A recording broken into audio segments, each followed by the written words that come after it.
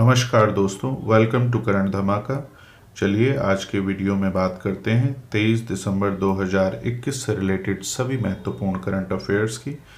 तो बिना समय गंवाए बढ़ते हैं आज के पहले क्वेश्चन की तरफ़। हाल ही में पीएम जनधन योजना खाते ने किस आंकड़े को पार किया है? तो जान लेते हैं इस क्वेश्चन का आंसर आंसर है चवालीस करोड़। चलिए, बढ़ते हैं इस क्वेश्चन से जुड़े हुए अन्य महत्वपूर्ण बिंदुओं की तरफ़। केंद्र की वित्तीय समावेशन योजना प्रधानमंत्री जन धन योजना के तहत लाभार्थियों की कुल संख्या 44 करोड़ का आंकड़ा पार कर गई है। पीएम जेडडीवाई के तहत खोले गए खातों की कुल संख्या चवालीस दशमलव ज़ीरो पाँच करोड़ थी, जिसमें 8 दिसंबर को कुल एक लाख सैतालीस हज़ार आठ सौ बारह करोड़ रुपए की राशि शेष थी। उत्तर प्रदेश सबसे अधिक खातों के साथ, बिहार के बाद सबसे ऊपर है। 2014 में अपनी शुरुआत के बाद से यह योजना लगातार अपने आधार का विस्तार कर रही है। पी एम की शुरुआत 28 अगस्त 2014 को की गई थी, जिसका उद्देश्य देश में लोगों को बैंकिंग सुविधाओं तक सार्वभौमिक पहुँच प्रदान करना था। भारतीय रिज़र्व बैंक के दिशा निर्देशों के अनुसार बचत और चालू खातों को निष्क्रिय के रूप में वर्गीकृत किया जाएगा। यदि खाते में दो साल तक कोई लेन देन नहीं हुआ है, जनधन खातों में औसत शेष सभी बैंकों के लगभग सत्ताईस सौ रुपए हैं। चलिए अब बढ़ते हैं आज के नेक्स्ट क्वेश्चन की तरफ़। हाल ही में उद्योग और आंतरिक व्यापार संवर्धन विभाग ने लॉजिस्टिक्स उद्योग को लाभ देने के लिए कौन सा प्लेटफॉर्म लॉन्च किया है? तो जान लेते हैं इस क्वेश्चन का आंसर। आंसर है लॉजी एक्सटिक्स तो जान लेते हैं इस क्वेश्चन से जुड़े हुए अन्य महत्वपूर्ण बिंदुओं को। उद्योग और आंतरिक व्यापार संवर्धन विभाग, यानी department for promotion of industry and internal trade DPIIT ने यूनिफाइड लॉजिस्टिक्स इंटरफेस प्लेटफॉर्म यानी यूलिप हैकथॉन लॉजी एक्सटिक्स को लॉन्च किया है, ताकि अधिक विचारों को क्राउडसोर्स किया जा सके, जिससे लॉजिस्टिक्स उद्योग को लाभ हो। नीति आयोग और अटल इनोवेशन मिशन द्वारा unified logistics interface platform hackathon LogiXtics का आयोजन किया जा रहा है। चलिए अब जान लेते हैं लॉजी एक्सटिक्स के बारे में।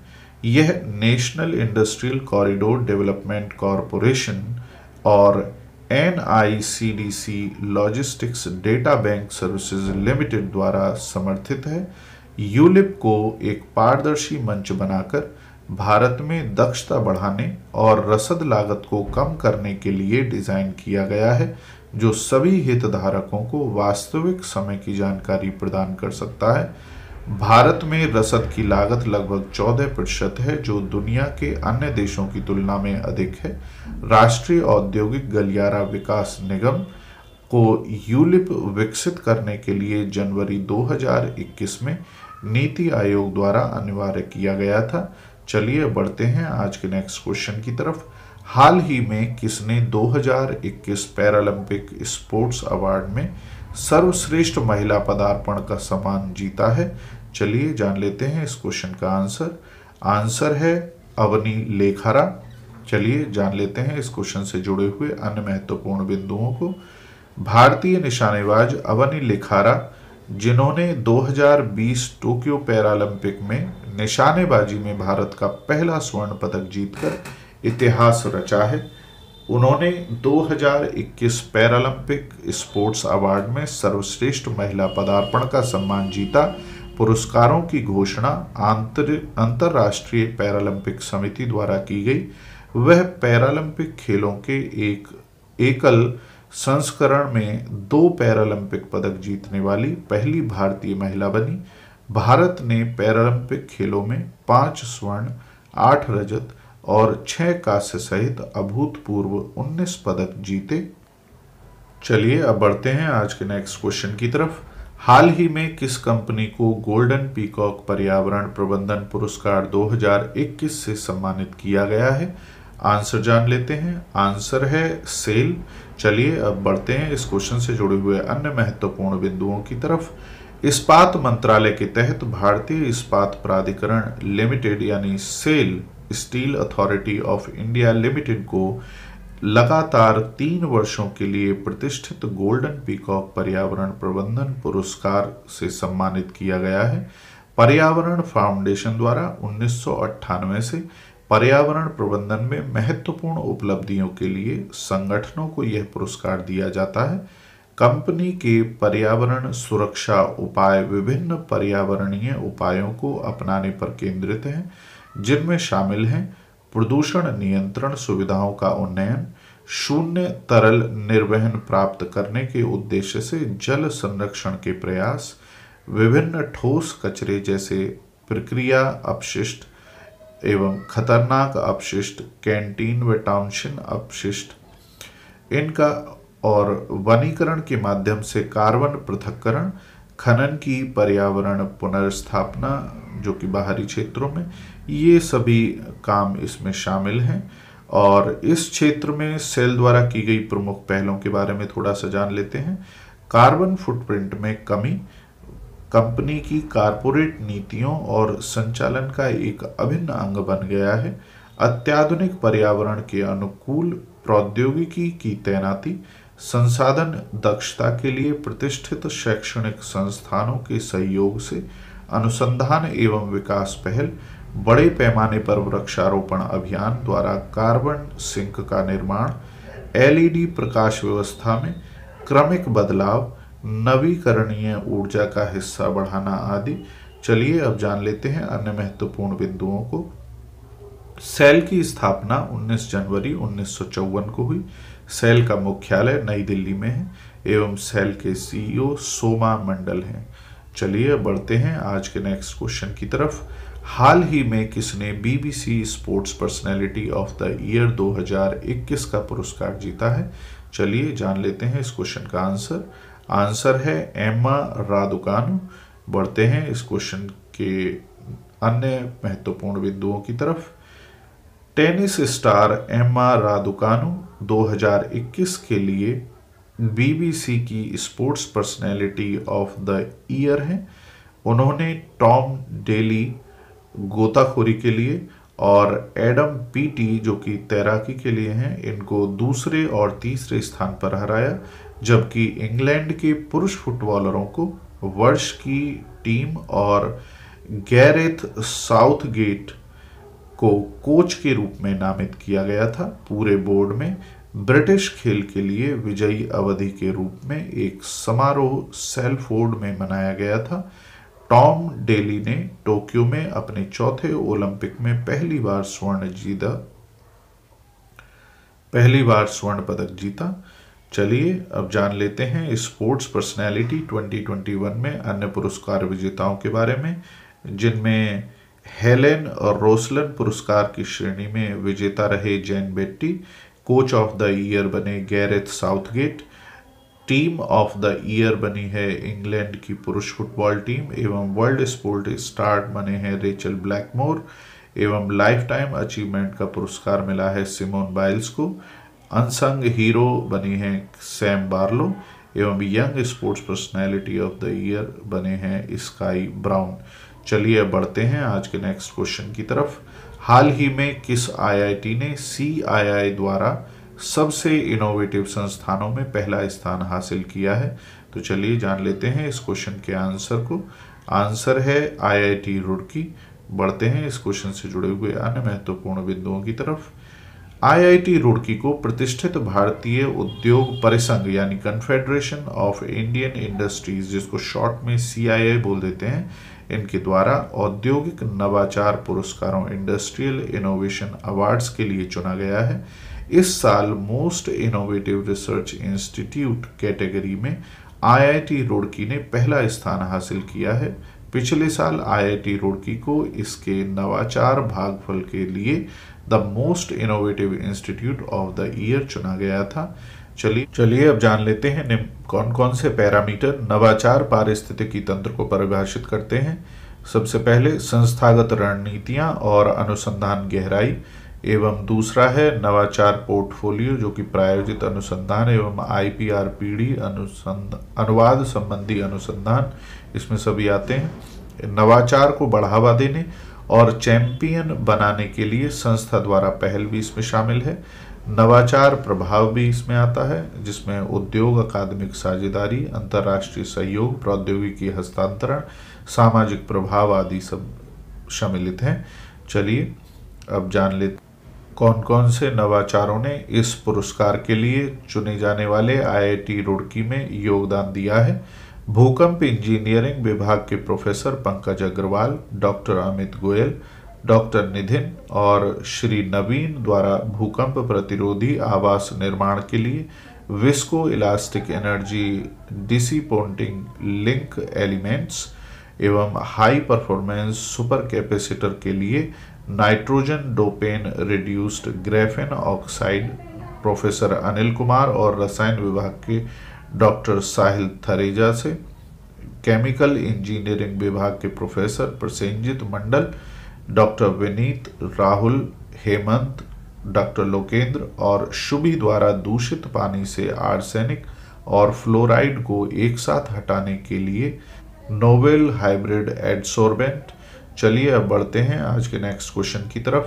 हाल ही में किसने नेतृत्व प्रतिबद्धता 2021 के लिए संयुक्त राष्ट्र महिला पुरस्कार जीता है? जान लेते हैं इस क्वेश्चन का आंसर। आंसर है दिव्या हेगड़े। बढ़ते हैं इस क्वेश्चन से जुड़े हुए अन्य महत्वपूर्ण बिंदुओं की तरफ़। उडुपी, कर्नाटक की एक भारतीय जलवायु कार्रवाई उद्यमी दिव्या हेगड़े ने 2021 क्षेत्रीय एशिया प्रशांत महिला अधिकारिता सिद्धांत पुरस्कार समारोह में नेतृत्व प्रतिबद्धता के लिए संयुक्त राष्ट्र महिला पुरस्कार यूएन वुमेन्स अवार्ड जीता है। उन्हें अपने संगठन बेरू पर्यावरण सेवाओं के साथ जलवायु कार्रवाई प्रयासों के माध्यम से लैंगिक समानता को आगे बढ़ाने में उनके निरंतर प्रयासों के लिए पहचाना गया है। जान लेते हैं अन्य विजेताओं के बारे में। युवा नेतृत्व का अवार्ड मिला है पल्लवी शेरिंग को। लिंग समावेशी कार्यस्थल का अवार्ड मिला है नट वेस्ट ग्रुप को। एवं जेंडर रिस्पॉन्सिव मार्केट प्लेस बने हैं धर्मा लाइफ सामुदायिक जुड़ाव एवं भागीदारी का अवार्ड मिला है द वेरी ग्रुप को। पारदर्शिता और रिपोर्टिंग का अवार्ड गया है बायोकॉन लिमिटेड इंडिया को। एस एम ई चैंपियन बने हैं नमिता विकास। चलिए बढ़ते हैं आज के नेक्स्ट क्वेश्चन की तरफ़। हाल ही में ईएसजी e मुद्दों पर यूएनपीआरआई पर हस्ताक्षर करने वाला पहला बीमाकर्ता कौन बना है?